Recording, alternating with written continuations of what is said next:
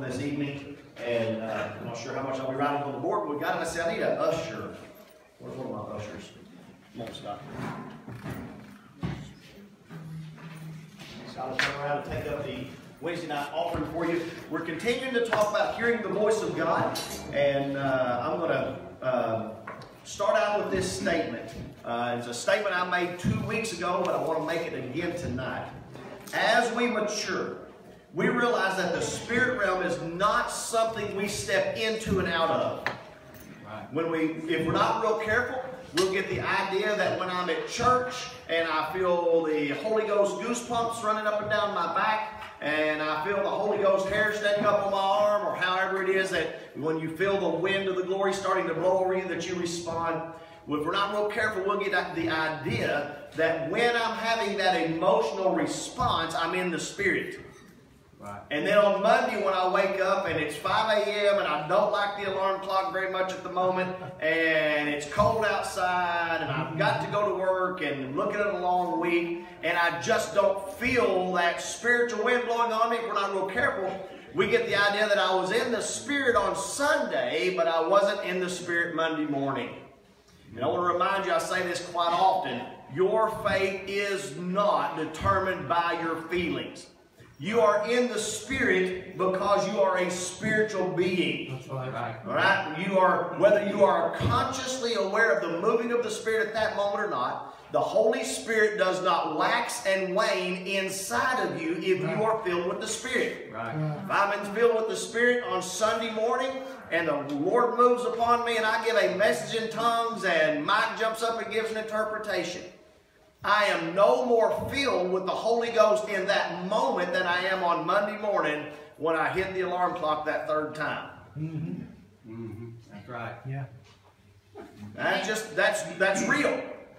You are filled if you are filled with the Spirit, you are just as much filled on Sunday morning during that time as you are on Wednesday night. It's something that we have to learn to actively walk in, live in, and understand the Holy Spirit is affecting my life 24 7, 365 if I let Him and I am aware of the fact that He's doing it. Right. Yeah. Right. I'm not quenching him.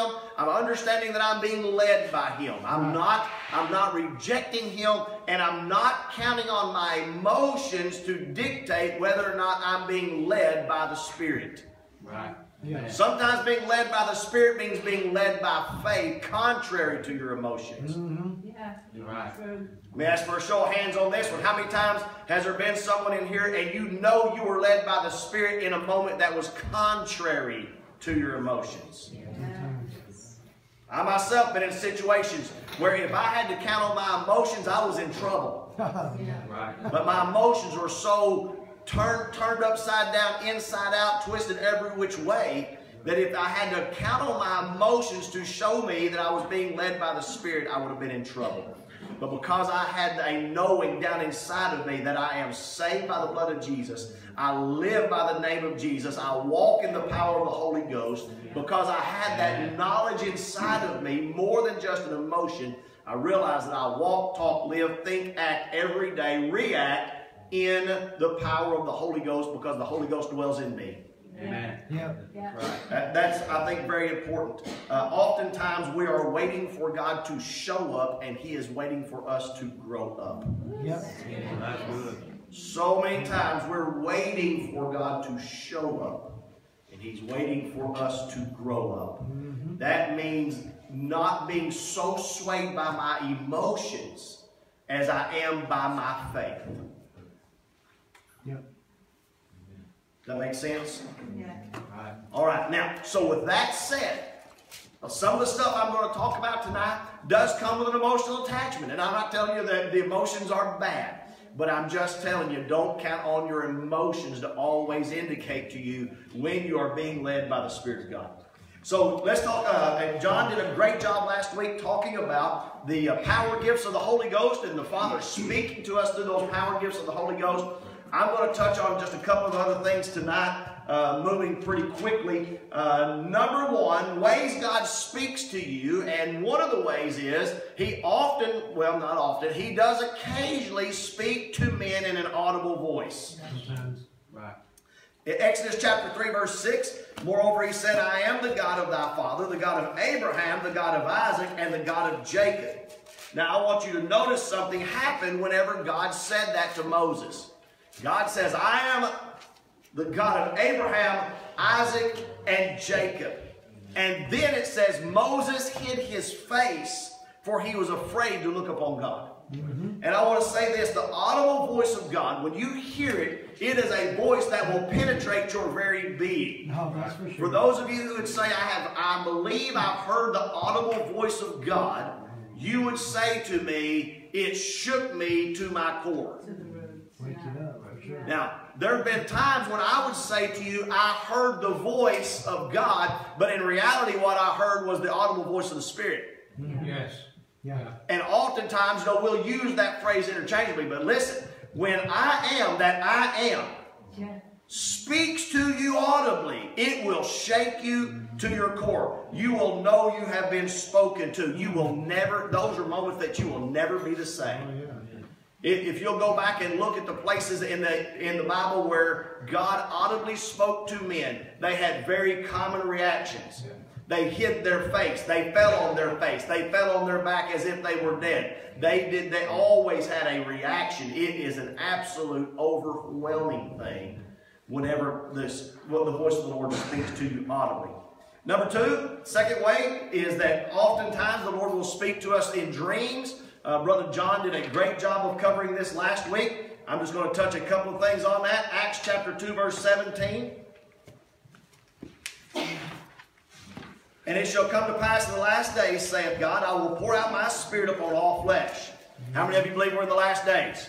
Definitely. All right. And your sons and your daughters shall prophesy, and your young men shall see visions, and your old men shall dream dreams. This scripture tells me that it is a it is the plan and the will of God for us to dream God dreams. Yes. The dreams that come up to us by the Holy Ghost. And John did a great job explaining this last week. Uh, he said that when we sleep, our outer man is resting, but our inner man is aware and open to the spirit realm. Mm-hmm. I believe that's how you explained that, wasn't it, last week, John? And uh, sometimes you may have a dream that seems bizarre and disjoint. Sometimes you may have dreams that are plain and easily understood, and other times you are going to have dreams that may need interpreted. Yeah. But with that said, let me remind you, not all dreams are from God. That's right. No, that's There's a lot of confusion out there in the world about dreams, and uh, we need to be very cautious with chasing after dreams. Remember in Ge- uh, Genesis chapter 20, verse 3, Abimelech dreamed a dream, and he did not need an interpreter. I'll read that scripture to you. Genesis chapter 20, verse 3. But God came to Abimelech in a dream by night and plainly said to him, You are a dead man because of the woman you have taken. Abimelech had a dream that God was speaking to him. He didn't need a soul to interpret that. It was very plain, very straightforward, right to the point. You're a dead man. And so he returned Sarah back to Abraham the next morning. Mhm, yeah. Then in Daniel chapter 7, verse 2, Daniel spoke and said, I saw in my vision by night, behold, four winds of the heavens strove upon the sea. But Daniel needed an interpretation.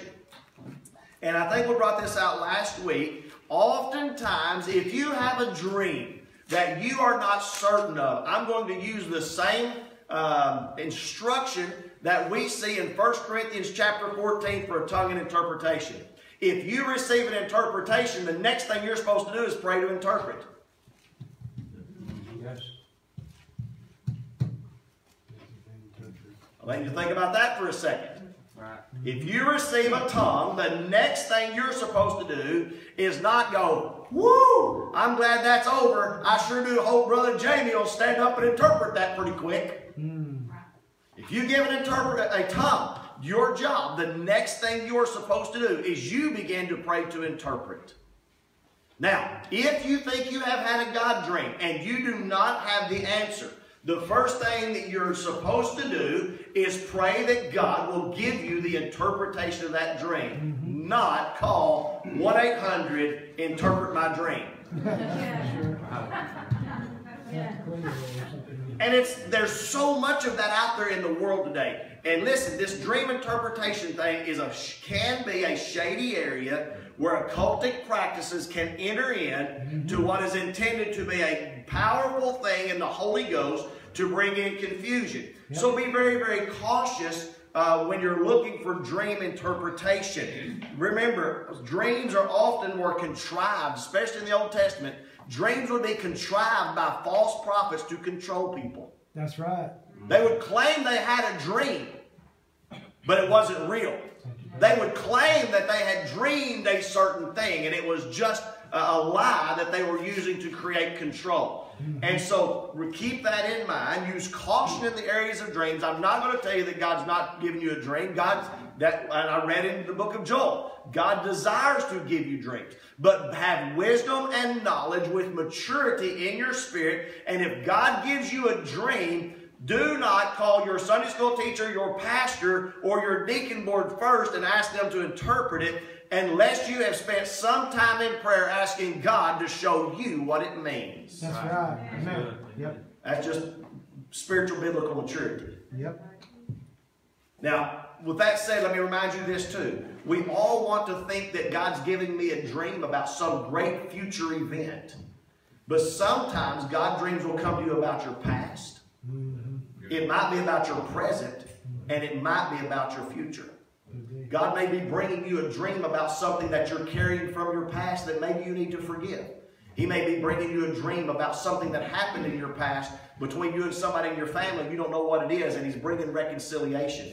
So, not all God dreams are going to all be about tomorrow or the next day. They may be about the past. They may be about something currently going on in your present, and they might be about your future. Mm-hmm. That's the reason you're going to need to spend time praying in the Holy Ghost, asking the Father to give you an interpretation. Yep. Comments or questions on that? Okay, let me go back to my other statement because I got y'all looking at me cross-eyed. Sometimes we're waiting on God to show up. Sometimes He's waiting on us to grow up. Mm-hmm. And sometimes, and this is just a method of growing and being mature as understanding the things that are going on with us. Pray for the interpretation and wait for it to come. Now, I'm going to give you this as my personal opinion. Chad Duval's personal opinion right here. Everybody hear that, right? I want to make sure you know it's my personal opinion. Beware of professional dream interpreters. Oh, and here's my opinion about professional dream interpreters. Anytime you try to do a spiritual thing in the flesh, it's always a recipe for deception. Oh, yeah. Right. Amen. Anytime you are attempting to do a spiritual thing through fleshly means, it is a possible recipe for deception. Oh, if you're coming to me with a spiritual dream, and I say, wow, water always means people, and wind always means the Holy Ghost, and rain always means something else, and a butterfly always means this, and, and I've got a book, and you say butterfly, so I turn to butterfly, and you say centipede, so I turn to centipede. What have I done? I have I have taken dream interpretation right. into the realm of the flesh right. and saying that everything that I'm dreaming in my mind has to fit a pattern of flesh. But remember, God is not flesh, He is spirit. Right. And He operates in the spirit, through the spirit, by the spirit, and of the spirit. It is the enemy that operates in the flesh, of the flesh, through the flesh, and by the flesh. And so, remember, you cannot do a spiritual thing in the flesh effectively. Right. Amen. It's a recipe for error. Right. Comments or questions on that? Well, brother, Yes. God told uh, Daniel told somebody that wanted him to interpret a dream. He said, "It's not in me to interpret it, but it's in God to give the interpretation." Yes. And he prayed about it and got the interpretation, but it was with much prayer. Yep. Bill. Do you think sometimes people worry, make a big deal about dreams, and there's really nothing to make a big deal over? Sometimes I think people make too big a deal over dreams. And this is, I'm going to give you another personal opinion of Chad Duval, okay? If you have a God dream, how many of you in this room can say to me at some point in time, I have had some crazy dreams? Oh, yeah. Well, everybody in that room, your hand just went up. we, we have crazy dreams. You know, you're driving a car underwater, you know, or something crazy like that. But the times in my life when I know I had a God given dream, They do not leave me. I remember them in great vivid detail, and sometimes they come multiple times.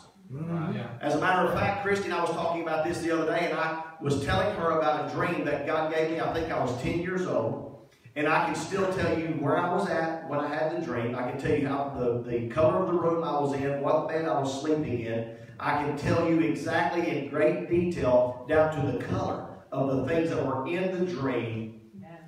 But I know what the interpretation was. Mm-hmm. But that was when I was probably 10 years old when I had that dream. And I can still remember it that vivid of a detail. I know that was a God dream. Mm-hmm. So, you know, if you had, and I'm not going to say to you that all God dreams are going to, you're going to remember them forever, and ever, and ever, and ever.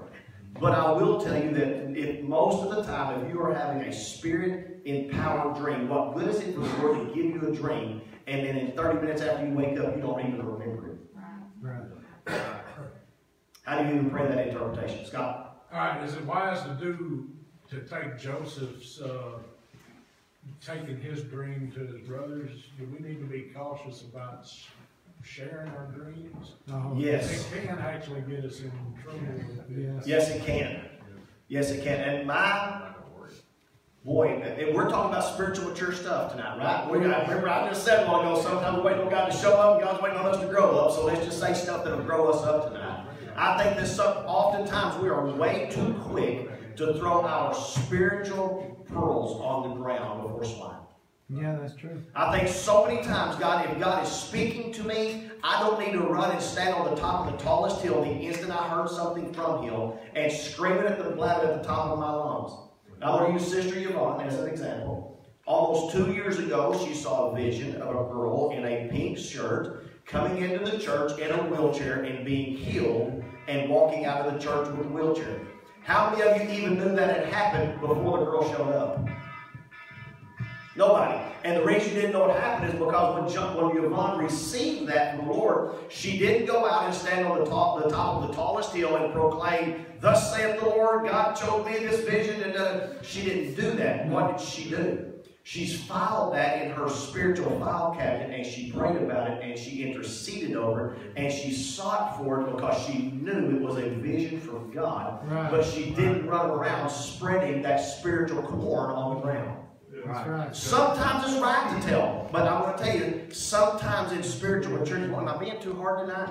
No. Sometimes in spiritual maturity, the right thing to do is hold it within myself and stay on my face before God and pray and weep over it myself until I get a release to share it. Right, there you go. Amen.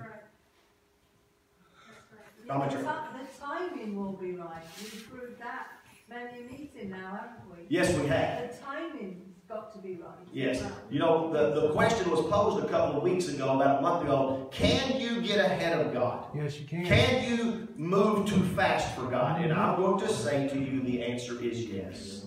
There's a time and a season for everything. Brother Chad, you think about Mary.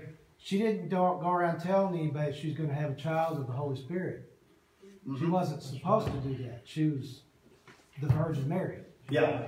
Yeah, she didn't stand up on the top of the hill and say, hey guys, guess what just happened last night? Because, because she's not married to Joseph, right? Yeah. She would have been stoned to death, right? Yeah, if she'd have got ahead of God and yeah, she didn't she definitely didn't run that in the Enquirer magazine and put that out there, did she? No, that's right. Not at all.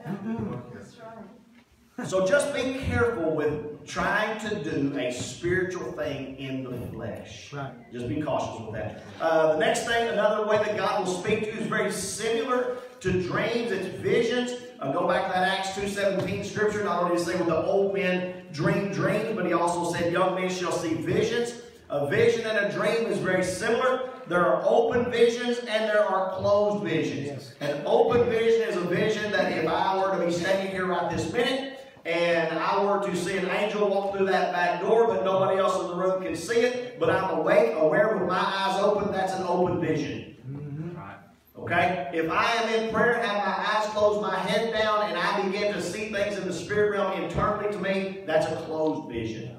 There's open visions and there's closed visions. Both of those are scriptural. Ezekiel chapter 37, verse 1 and 2, I'll give you an example. The hand of the Lord was upon me and carried me out in the spirit of the Lord and set me down in the midst of the valley which was full of dry bones.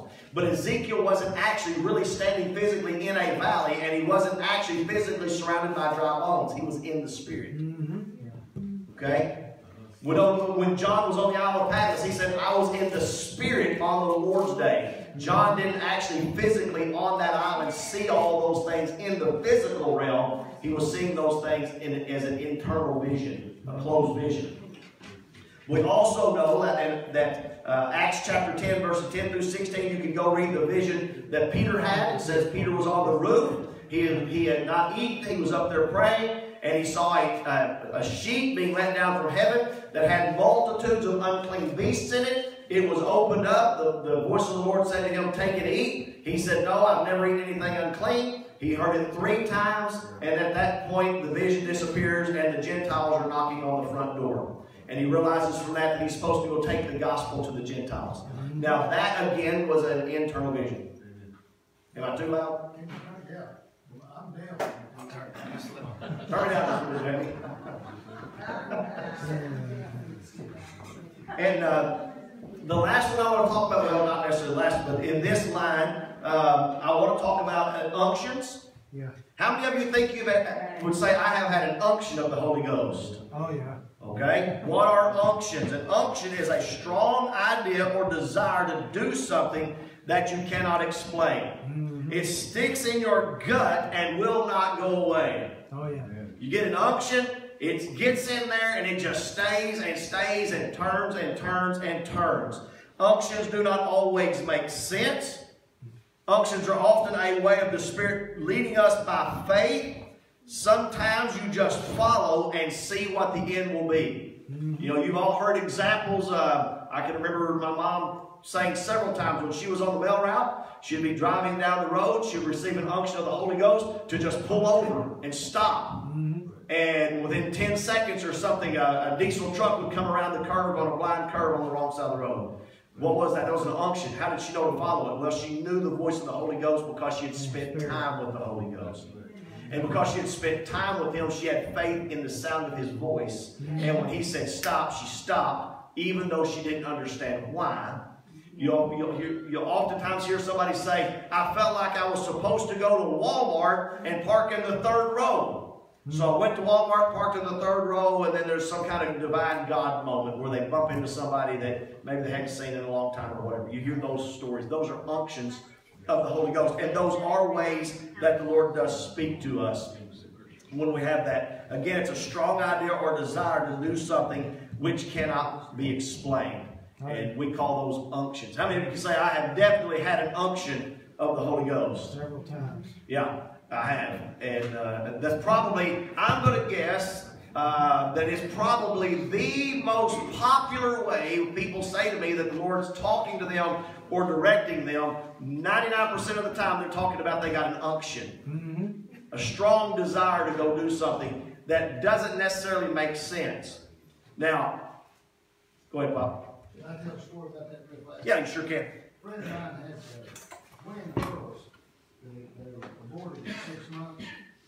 And uh, there's a lady, a professional photographer, come up tomorrow and dressed the girls and took professional photos. And I said to her, I said, why are you doing this? And she said, God told me to do it. She said, it took me two years to get the message through to my head that this was my ministry. Yeah. So for two years, she had an unction to do that. Just a desire she couldn't get away from. And a lot of people will come to me and say, How do I know if it's God? How do I know if it's God? And it's and this oftentimes you've heard me use this example before is one of the ways that I do it myself. If I'm sitting there and in my recliner in my house, and I decide I'm gonna, you know, the thought runs through my mind, ooh, ice cream. I let the leg down on my recliner, I jump up and I run in the kitchen and I fix my bowl self a bowl of ice cream. And you know I never hear my head say, that's just you, that's just you, that's just you. Not one time. I can go get ice cream seven nights in a row, and my head never says, that's just you thinking that. But I can hear and get an unction inside of me that says, you know what, your neighbor's down. Why don't you go over and visit with them? They're lonely.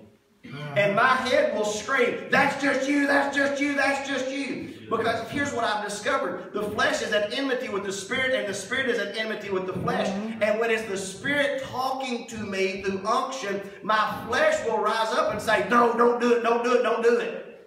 Right. Yeah. My flesh will inflame the desires of the flesh for me to go do the things of the flesh. But like my dad just gave this example, that lady said, it took me two years. I had an unction to do this ministry, but it took me two years to convince myself that it was the voice of God and stop listening to the voice that's saying, that's just you, don't do it. Right. Right. So that, that's not necessarily the only test you need to use, whether the unction that you are feeling is of the Holy Ghost or not, but it is a good one if your head is fighting it. Now, I said something in that when I was giving the example with my mother that I want to go back and point out. I said this. My mother was comfortable enough with the voice of the Holy Ghost because of spending time with him mm-hmm. that he, she understood what the unction was. And you'll say, How do I spend time with the Holy Ghost? My very, very best answer is this get filled with the Holy Ghost with the evidence of speaking in other tongues and learn to use your heavenly prayer language in your private prayer closet. The more you speak in tongues, the more you will become accustomed to hearing the voice of the Holy Ghost inside of you. When I am praying in tongues, it is the voice of the Holy Ghost in me that is coming out of me. It is, a, it is the language of heaven coming from in me to heaven, from heaven into me, back out of me. It becomes a wheel within a wheel. Out of me into heaven, out of heaven into me, out of me back into heaven. And the more time I spend in the presence of the Holy Ghost, praying in tongues and, and doing that in my prayer closet, the more accustomed I will become to hearing the voice of the Spirit, and the more accustomed I will become to understanding if the unction is from the Spirit or if it's just from me. Right. Right. The more relationship I build with my King, the more I will hear and know His voice. And listen to this part. I will also, the more I will know His personality. Right. Right. If my if I get a phone call five minutes from now, somebody I don't know, and they say, Belinda wants you to stop and pick her up a mayonnaise and bu- tomato sandwich on your way home, I'm going to laugh. My wife will not put mayonnaise in her mouth. How would I know that it was the voice of a shyster trying to convince me to do something that I would sh- shouldn't do? Because I know my wife, because I've spent enough time with her, that I know her personality. And so I would not do that. And we need to be that way with our King. We need to have spent so much time with my King that if a voice comes to me, even if it sounds like his voice, but it's speaking to me about something contrary to his word or his personality, that I know to reject. Amen. Right. But at the same time, I've spent so you know spent so much time with him that I also know now if she called and said chocolate drop cookies, I know that's my wife. that would be her voice, but not the mayonnaise with the tomato sandwich. So, yes, Brother Chad, when we get that unction, our spirit churns within us. It's like His word is like a fire that's shut up in our bones. And we know that the Bible says that the spirit quickeneth and that the words that Jesus speaks to us are spirit and are life. So we'll know that it's the Lord when the, when the spirit and the life stirs up within our spirit man. And we, we know it's yes, the spirit of the life combining within us. Yes, yes, Yeah. Now, there's a difference between an unction and an impression. Yes. So let me tell you about the difference between an unction and an impression. An impression will pass quickly. Mm-hmm. How many of you would say with honesty in this room, you know, at some point I've been in a, in a service and I got the impression to give a tongue, but I didn't give it and it left and somebody else did it. Mm-hmm. Or I thought I had the interpretation, but I wasn't sure if it was me or the flesh. Mm-hmm. Go back and see what I said just a second ago about discerning that. And then all of a sudden somebody else did it and it left me. Or you might say, I felt like I was supposed to uh, go over and give Sister Mandy $20 for something in the children's church and uh, I held on to it for a minute and it just left. I don't feel that anymore. Those are impressions. Unctions will stay with you, and impression will pass if it's not fulfilled. These are gentle nudges of the Holy Ghost, but when the moment passes, they come and go. And a lot of times it will be, um, you know, maybe to, to give somebody, uh, you know, uh, help somebody with, with some money. Or maybe uh, to give the tongue or the interpretation, something along those lines. But if unctions will stay with you, impressions will pass with time. Now remember, these can also be easily manipulated by your knowledge and your emotions. Impressions will often often be manipulated by what I know and by my emotions. I may, if I know, let's say Mike is in a really bad financial situation, and I feel eh, compassion for Mike, mm-hmm. I may, because of my knowledge, pour, give Mike some money to help Mike out because of his bad financial situation. Mm-hmm. And but that may not be an impression from the Holy Ghost. That may have just come from my knowledge or my own emotions. So we need to be cautious that, and just remember, Yeah. sometimes your fleshly knowledge and your emotions may be speaking to you to do something that's good, but it may not be the voice of God. Right. Right. Amen. Yep. Does that make sense? Mm-hmm. Not always. And, and, and I'm going to throw this out. Again, we're talking mature stuff tonight. So I want to throw this out there. It is my personal Chad Duval opinion. Boy, I'm giving you a lot of that tonight, and most of the time I steer away from that. But my personal Chad Duval opinion that taking the Lord's name in vain has far less to do with using four-letter words attached to the word God than it has to do with people who say, God told me, God told me, God told me, and they're running around doing stuff saying God told them to do it, but it wasn't the word God, then it was their box of Cheerios. That's right. That's brother. good. Amen. That's good. When I start attributing the word God said or God told me to what I wanted to do by my knowledge and emotions, I believe that's taking the Lord's name in vain. Amen. Now, I'll give you this as an example. This person is not in the area anymore, so you wouldn't know who I'm talking about. But at one point, many, many years ago, there was an individual who came to me, was talking to me, and said, I really feel like the Lord's uh, impressing upon me that I need to leave this place that I'm living in and move into this place that I'm living in. Will you please help me pray? So I prayed about it and got a check in my spirit about it. Called him up on the phone and said, I think this is a really, really bad idea. Don't do this. I, I really have a check in my spirit. You asked me to pray about it and I've done it. And what they said to me is, Well, I know God spoke to me and I don't think you're right. You're, you're telling me contrary to what God told me. So I'm moving anyway. And they did, and within about three months they were bankrupt because they couldn't afford the payments where they went.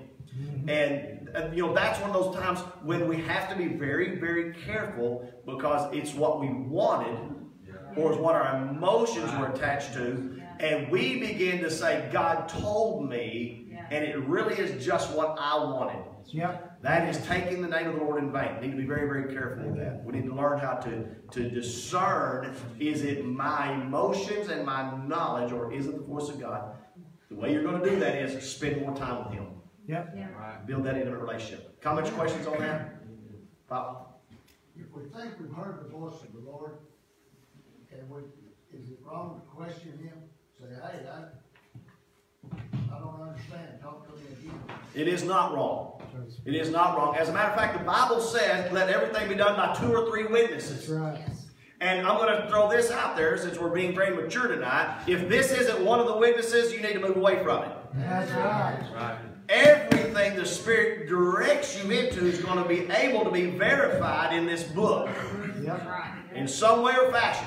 So this, everything by two or three witnesses, and if this isn't one of the witnesses, move away from it very quickly. Mm-hmm. Now, with what he just said, let me move into the next one. Another way you're going to know that the Lord is going to be able to speak to you is through peace and joy.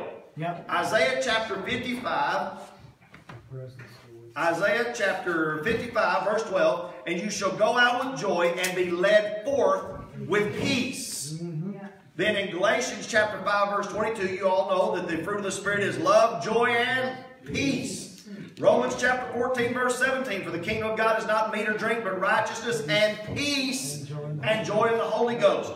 Uh, Hebrews chapter 12, verse 14. Follow peace with all men. Matthew chapter 10, verse 13. The best one, uh, going along this line, and if the house be worthy, let your peace come upon it, and if it is not worthy, let your peace return unto you. Yep. Oftentimes, if I'm in a situation and I want to know for sure if the Lord's leading me in that direction and speaking to me, I will be able to look for my peace and my joy, not of the flesh, but of the Spirit. Right. Occasionally, the voice of the Lord leads me into things that are uncomfortable in my flesh, but they are very comfortable in my spirit. Yeah.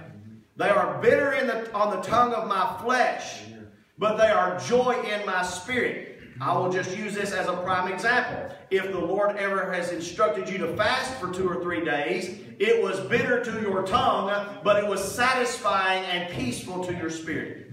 Right.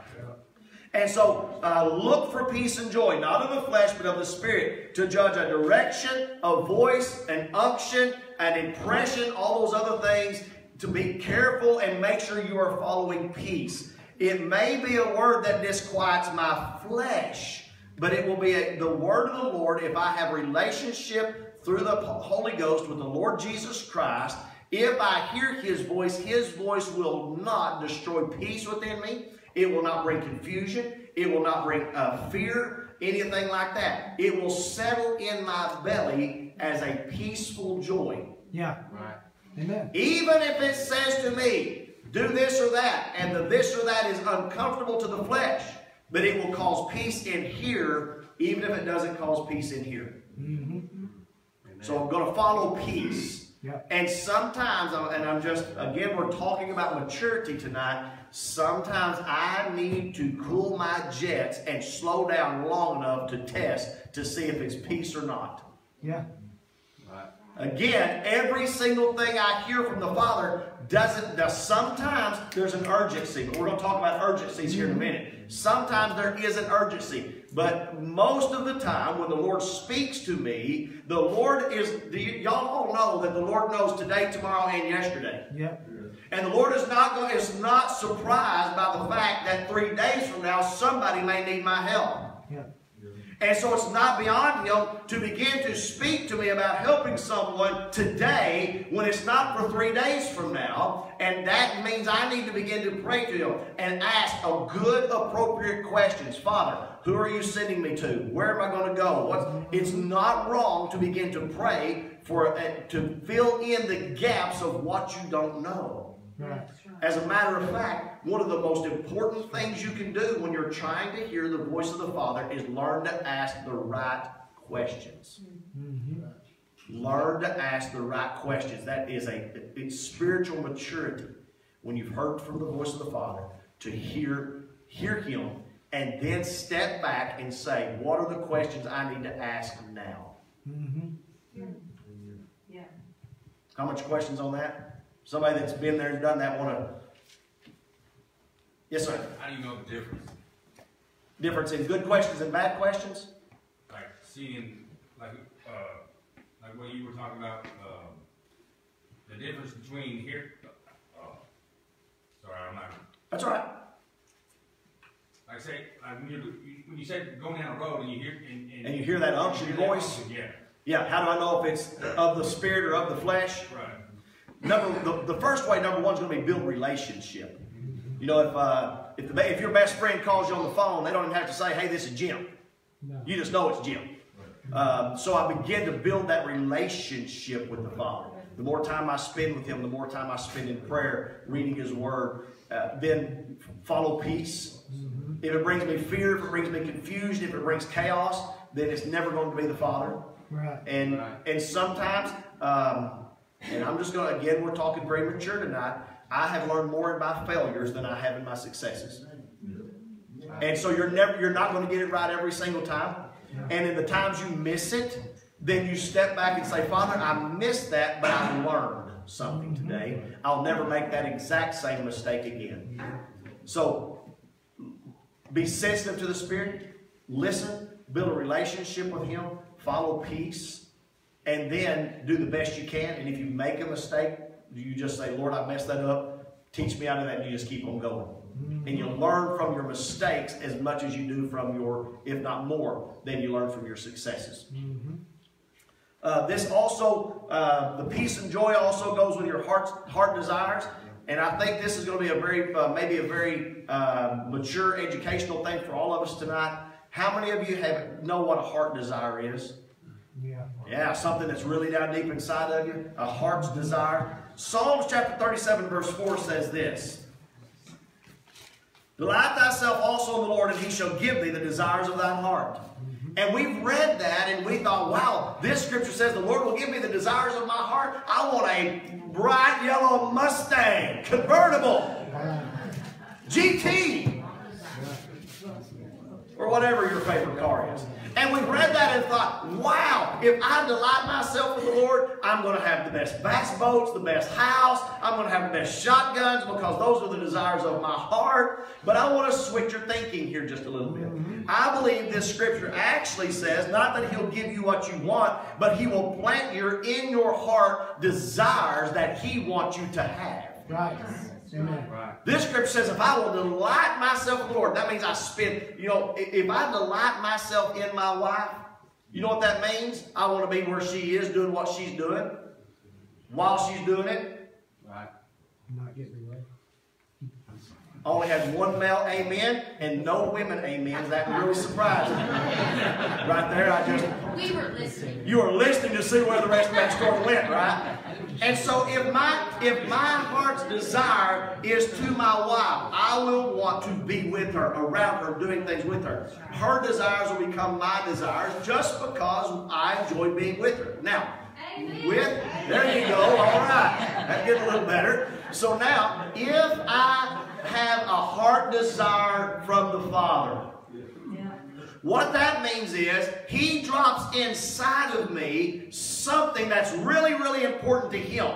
And it becomes a hunger in me, and I find myself wanting to immerse myself in him because of his heart's desire that's now in me. Yeah. Right. I don't know if any of you have ever been an intercessor, but this happens to intercessors quite often. You'll be rocking on in your life, and the next thing you know, something becomes so intense inside of you. Mm-hmm. It's this heart desire. Whether it's, let's say it's praying for the lost, because we've been praying for a thousand souls to be saved. And what I find is it's always on my mind. Every time I get down to pray, I try to pray for all the people on the list, and I find myself weeping for the lost. And I re-engage and try to pray for something else, and I find myself weeping for the lost. And I find myself continually seeking after them and, and praying about them, driving up and down the road, driving by people's homes, and praying over the people in those houses. What happened to me? Two weeks ago, I never even thought about the lost. What happened? I delighted myself in the Lord, and He spoke to me by dropping His desire in me. And His desire becomes a fire shut up in my bones, down in my belly, making me something I've never been before. Right. Amen. Amen. That and that is a way of God speaking to you. It's happened to me in my own life multiple times. Uh, I could give you great examples. Uh, we know Matthew 13, 3 says, And he spake many things unto them in parables, saying, Behold, a sower went out to sow. When the sower went out to sow, you all know this, he threw corn on the ground or seed on the ground, and some of that seed became 30, 60, 100 fold fruit. That seed that did that was the seed that went into good soil. One aspect of that good soil is this those were hearts that were delighted in the Lord and they accepted the seed of God into their good soil heart, and God's desire became their desire, and they produced 30, 60, 100 fold fruit. Why? Because God was inflaming that desire within them and it activated them into a work that God wanted done. Right. Amen. If I continually chase my desires, it's real hard to stay in God's will. But when I receive His heart desire within me, it gets hard to get out of His will. Yeah. Amen. Yeah. Because it it flames me to produce Him. Abba is continually sowing seeds in us that we need to protect and nurture and pursue so the fruit of His will will be born in our life. Now, I'm going to throw this out there to you. How do you inflame a heart desire? This is a Chad Duval-ism. Exposure increases appetite. Mm-hmm. Exposure increases appetite. If my wife says to me, I love going to yard sales, will you please take me to a yard sale this weekend? And because I have her heart desire within me to spend time with her, I get up early, whether I enjoy it or not, and I take her to a yard sale. And I stand there while she does what she does at the yard sale, and then I take her to the next one and I just enjoy the time with her. If I do that long enough, you know what I'm going to find out? I like going to yard sales. And then I'm going to be finding out I jump out of the car just as fast as she does and run up there to see what I can get before somebody else snatches it up. Y'all are, y'all are all laughing because you know how it works, right? And but what happened? Because I had a heart desire that was attached to the heart desire of my wife, and I began to keep myself exposed to that heart desire. The exposure increased the appetite within me. So if God has given me a heart desire, if I will then begin to immerse myself in it, exposure will increase appetite until I find myself openly consumed by the fire of God in me, pushing me to His will. Yep. Yeah. Right. Exposure increasing appetite. That's pursuing the uh, heart's desire. What time is it? Somebody help me. Seven twenty-seven. Oh, I got three minutes. Voice of authority. Let me hit voice of authority. The Holy Ghost speaking to you through an authority in your life. Now listen. Be, you also have to be careful with this. It's the Holy Ghost speaking to you through an authority in your life. It should be a voice of agreement or confirmation. Mm-hmm. Yeah. And Brother John will be the first to tell you this. I, myself, Sister Christy, if I ever come to you and say, the Lord told me to tell you this, that, or the other thing, if it is not a voice, uh, a word confirming something you've already heard from God, if it's the first time you've ever heard that, you put it in a Holy Ghost box with a Holy Ghost bow on it, and you put it on the spiritual shelf inside your heart, and you wait for confirmation. Amen. A voice of a prophet should be a voice of confirmation Right. to you, especially if it's telling you to sell your house and move to China. Oh. That's right. Okay? Yeah, if, I, if all it's telling you, if it's telling you to go home, be nice to your wife, listen to that one. But if it's telling you something, you know, uh, that's out there a little bit, it ought to be a voice of confirmation. Uh, and I'm going to throw this out there. It must be in line with the Word of God. It must follow peace, and it must stand up to time and prophetic judgment. Yes. Yeah. Right.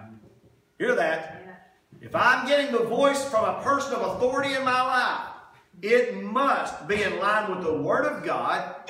It must follow peace within me. If, if Sister Christy comes up and gives you a word tomorrow night and it doesn't set in your belly well and it doesn't create peace within you and joy, again, put it on a shelf. Mm-hmm. Right. Okay?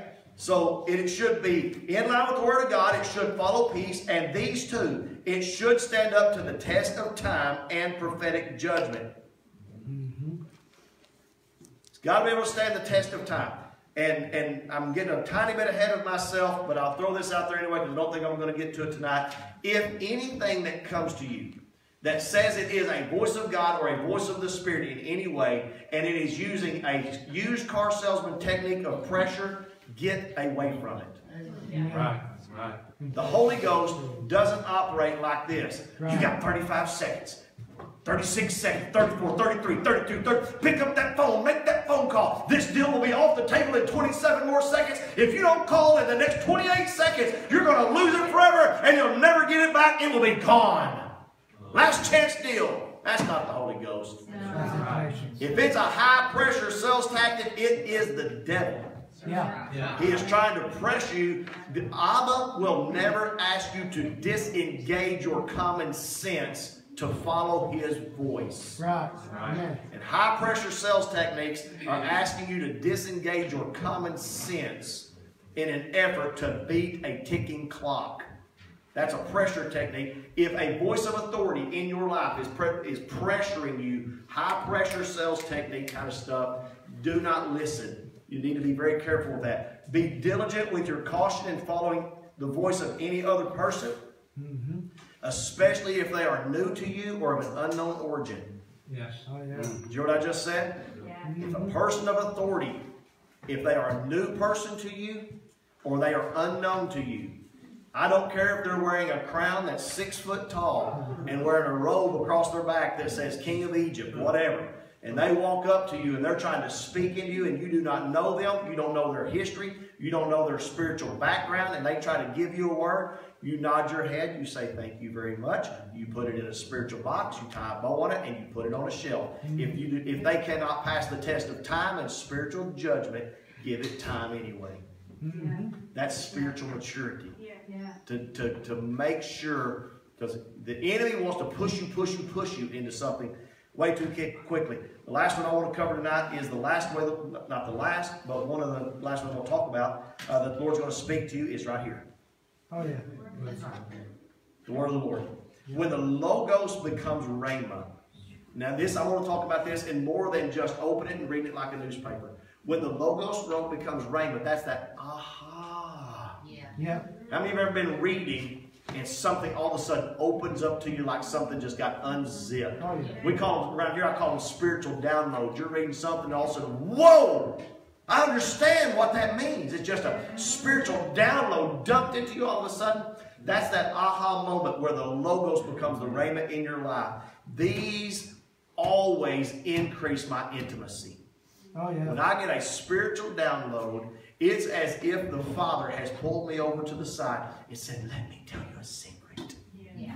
And it's like he's speaking straight to me all of a sudden. It's like he's whispering to me those, those sweet nothings in, off in the corner somewhere. It is a treasure, a pearl of great price. And uh, the meditating on the scripture is so important to get there. You got to dwell and look into the perfect law of liberty. Spend time with it. Meditate upon it. Keep it in your heart. Hide it within you. And if you do that, you will have those aha moments. Right. Here's your caution. You can never have an aha moment if you don't pick it up and read it. Yeah, that's true.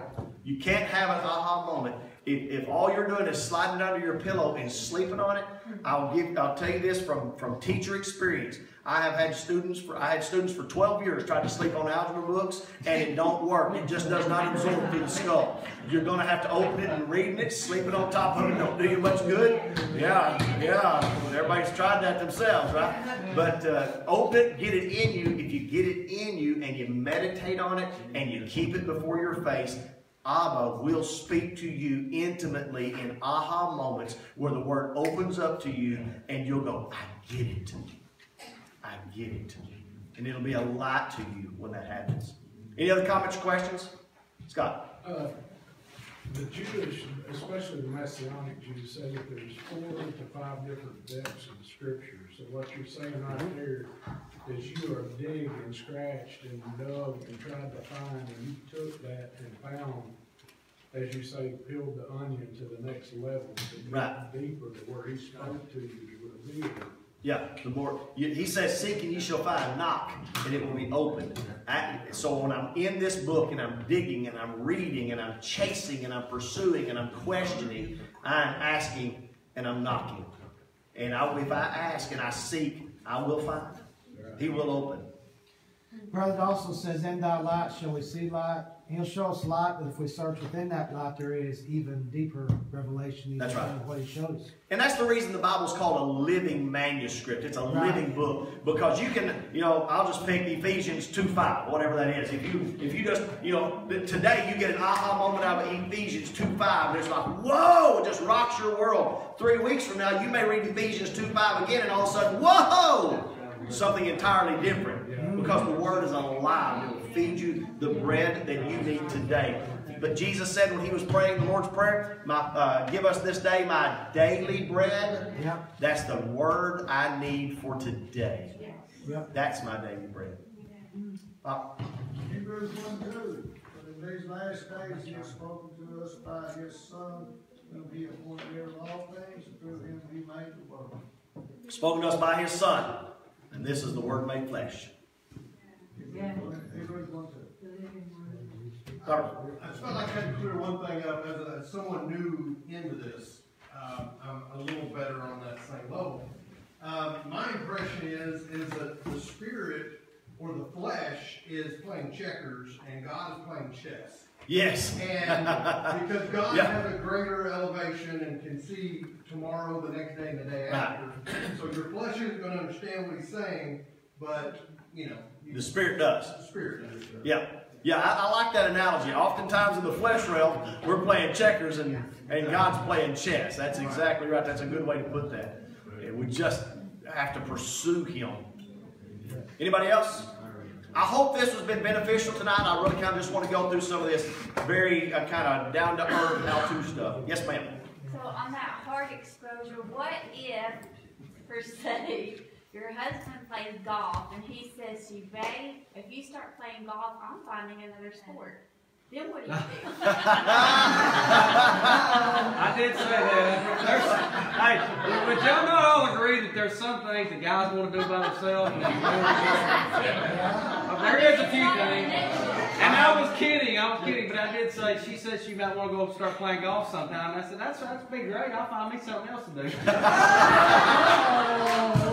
But I was I got you. I got you. So what you do is just, then you just invite him to go dress shopping or shoe shopping. There you go. I just don't see myself duck hunting or golfing, like, it's just not working out. Just not, way. you'll have to hunt other common heart desires. There you go. Yeah, you'll have to hunt other common heart desires. That's right. Brother Charles. I, I had uh, something happen to me, and, you, we were talking about, and you touched on the, this thing that happened to me, almost every uh, different subject that we talked about. So it seems to be important to me to tell the story that happened to me in Amarillo, Texas. And the story starts out, I was in the play. And uh, I had just finished, uh, the, my team and I had just finished a shutdown and, and took some days off from it. And we had done a very good job. And I, had- to, with all of this, I had a pocket full of money. And I was, uh, took the day off and I was just, uh, I didn't know what it was gonna do. But I drove downtown and there was a hop shop down there or whatever, hobby shop. And so I pulled up the truck right in front of it, and I got out, and I spent about an hour in that, in that shop, and I looked at everything they had, and there was nothing in there that I wanted, or even, it was almost revolting to me to be in there. And, uh, but I had terrible anxiety. Right. I knew there was something that was going on. Something wasn't right. And I couldn't find it. So I left the pawn, the, the, the pawn shop, and I walked the half a block down in my main part of Amarillo, and I turned the corner to the right. It seemed like I was being carried there practically, and there was a, a Greyhound bus stop just about almost to the other end of the block across the street. So I walked there, and I walked in the door, and this young lady, uh, couldn't have been very old, but she did have two children, so she was, you know. And she walked, run, almost ran up to me, and she said, I, I'm in trouble and I need some help. And uh, I said, well, I, I, you know, I'll be glad to listen to what, you know. And she said, well, we've out of money, I'm trying to get to my husband, and I, I don't remember where, but it was a long way from there. And I don't have any, uh, food for my children. I don't have enough money. There was pay in the, in the shop. And I said, well, you know, first of all, let's, let's eat, you know. So we sat down and they ordered, and I was kind of jealous without being touched about it. Cause it was many years ago, probably twenty or thirty maybe. Oh, we had like. So anyway, we had dinner, or had, uh, uh, lunch. And I give her some money, and she, and I, and I was crying at, at the te- at the booth that we we're in at that time. I was just so tore up, uh, within my soul, or within my heart. And I realized at that moment, the Lord had sent me Yeah. on that. And I was so happy to be able to do God's work. Yeah. Uh, And so, ever after that, I would pray, Lord, send me on another one of those. Send me on another mission. Yeah, another mission, and he has, uh, although it's been a while since he has, Yeah. but, uh, it, it, it- I've had very many of those, and that was. And that's a perfect example of your peace, when you were in the pawn shop, your peace had left. You didn't have any peace while you were in there, but when you walked into the Greyhound bus shop, the peace was there. Well, when I walked out of the shop, it started, I was being directed, I, I. Yeah. I more so know that now than I did probably at the time. Right. It, it was, Yeah. That's just a prime example of, of, of one place where your, the lack of peace was speaking to you as loudly as the peace did in the other place. Yeah. Well, I appreciate you being here tonight. Uh, God bless each and every one of you. I hope you're learning from this study. If we're going to be a spiritually minded people led by the Spirit, we need to learn to be do, do so in maturity. There's a perfect, there's a wonderful uh, spirit that the Lord has given us to lead us, guide us, and direct us. We just need to be grown up in the spirit realm enough to hear His voice, allow Him to lead us in maturity, and follow Him. If we do that, the Bible says He will guide us into all truths. That's right. That's our goal. Father, I thank you for this wonderful people. I thank you, Father, that they have come out on a Wednesday night to hear your word. Father, I pray that tonight what has happened is iron has sharpened iron. And as we have come together, they have sharpened me, and I have sharpened them. And the Father, we all leave this place sharper than we were when we got here. That we will be able to go out and be very productive soldiers for you. That we'll be able to go out into this lost and dying and dark world, Father, and be a light that'll bring in those thousand souls. Father, I thank you for it in Jesus' name. Amen. God bless each and every one of you. Thank you for being here tonight. Choir practice at 6, Jamie.